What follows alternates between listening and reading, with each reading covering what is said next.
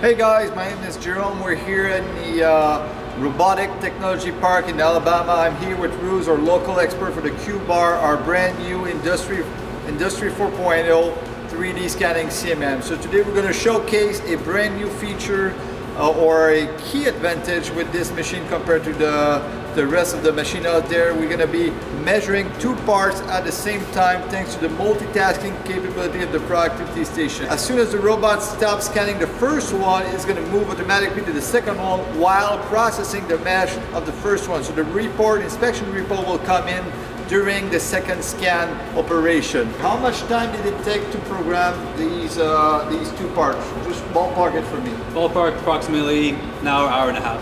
Next operation is just to close the door, reset the program and start, is that correct? That's right. Okay, so let's do that and see how, how it works.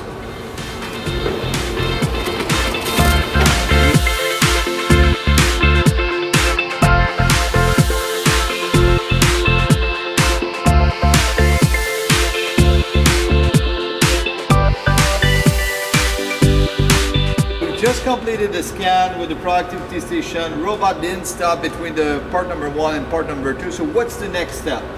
The next step is uh, to open the gate, enter the cell and uh, check the parts, see if there's anything that's uh, wrong with them. The inspection report will be able to tell you that. The operator will be able to pick up the part, take his part out, introduce the next part into the cube.